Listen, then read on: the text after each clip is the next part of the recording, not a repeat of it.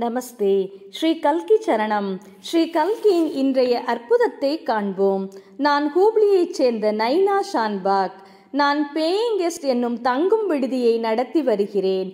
இது அருகிலுள்ள மருத்துவமனையில் ஐவிஎஃப் சிகிச்சைக்காக வரும் நோயாளிகளுக்கு வாடகைக்கு விடப்படுகிறது. அப்படிப்பட்ட பெண்மணி ஒருவர் தற்போது என்னுடன் இருக்கிறார். அவர் முதல் முறையாக ஐவிஎஃப் தோல்வியடைந்ததால் அவர் இப்போது இரண்டாவது முறையாக அதை செய்கிறார். அறுவை சிகிச்சை முடிந்து ஆறு வாரங்களுக்கு பிறகு அவள் பரிசோதனைக்கு சென்றபோது குழந்தைக்கு இதய துடிப்பு இல்லை என்றும் கருவை அகற்ற வேண்டும் என்றும் டாக்டர் சொன்னார். ஆனால் ஆறு நாட்கள் காத்திருக்கச் சொன்னார்.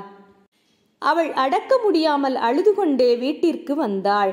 அவளுக்காக வேண்டிக் கொண்டேன். ஸ்ரீ கல்கி என்னிடம் அவளுடைய குழந்தை ஆரோக்கியமாக இருக்கும் என்று கூறினார். ஸ்ரீ பகவான் அவளது கனவில் தோன்றி கவலைப்பட வேண்டாம் என்றும் ஆறு நாட்களுக்கு பதிலாக எட்டு நாட்களுக்கு பிறகு மருத்துவரிடம் செல்லுமாறும் சொன்னார். அவள் மருத்துவமனைக்கு செல்வதற்கு சற்று முன்பு நான் அவளுக்கு பாதுகை தீட்சை கொடுத்தேன். என் வலது கையின் விரல்கள் பாதுகைகளை பிடித்தபடி தாளமாக தட்டியது. என் இதயமும் துடிப்பதை என்னால் உணர முடிந்தது. குழந்தையின் இதய துடிப்பு வந்துவிட்டதை என் இறைவன் குறிப்பிடுவதை நான் உணர்ந்தேன். மருத்துவர் அவளை பரிசோதித்தபோது குழந்தையின் இதய துடிப்பு கேட்டதால் அவர் ஆச்சரியப்பட்டார்.